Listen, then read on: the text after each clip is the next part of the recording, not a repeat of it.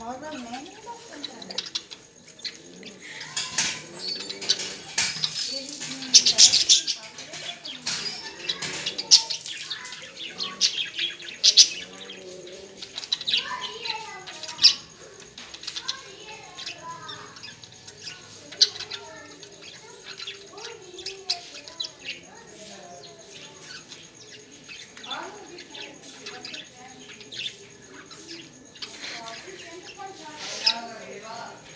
फिर ಅವಕ್ಕೂ ದಯಸಿ ಈಚೆ ಮಾಡಿದೆ ಮಸ್ತ್ ಇದೆ ನಾನು